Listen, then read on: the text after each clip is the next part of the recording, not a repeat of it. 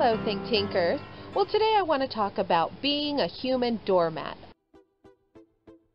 Are you treated like a doormat by your friends and family? Do you have a hard time saying no when you really ought to? A lot of people know you as the go to person, but it's not because they're really admiring your intelligence or your abilities. It may be because they're just using you. You have to be careful with this because sometimes this happens even with close friends and family. Now, I say that because a lot of people say, well, it's my family, but yeah, even they will know where to push your buttons. This is not a good thing for you if you have put yourself in a doormat position. And by the way, no is not a dirty word.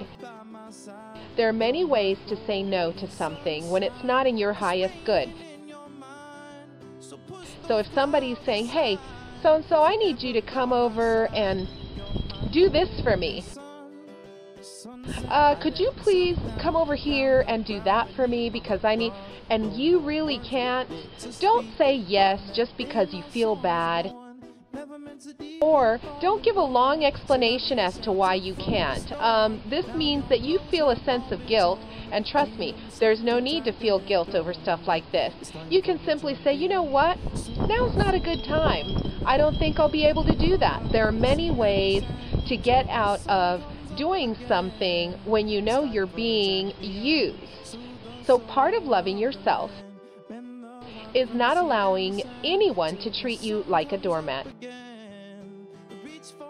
It's okay to do things for others, but it's not okay to have people step all over you or have people just kind of speak to you in a derogatory or disrespectful way. You've got to love and respect yourself.